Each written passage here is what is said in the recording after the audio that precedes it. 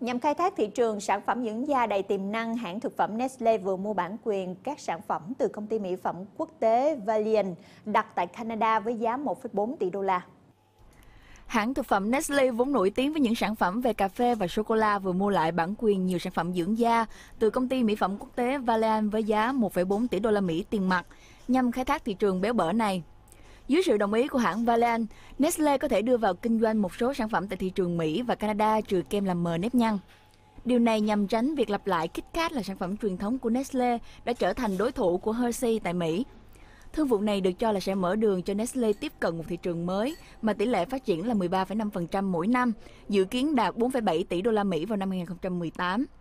Những năm gần đây, nền kinh tế suy yếu ở Anh đã đẩy Nestle và hàng loạt các công ty thực phẩm khác vào tình trạng khó khăn. Unilever đã phải bán một số sản phẩm của mình để tập trung vào dầu gội và xà phòng. Valen cho biết, thỏa thuận với Nestle chẳng những không ảnh hưởng tới hoạt động kinh doanh giữa hãng và hãng dược Mỹ Allergan mà còn đẩy mạnh doanh số đối với nhà sản xuất Botox này.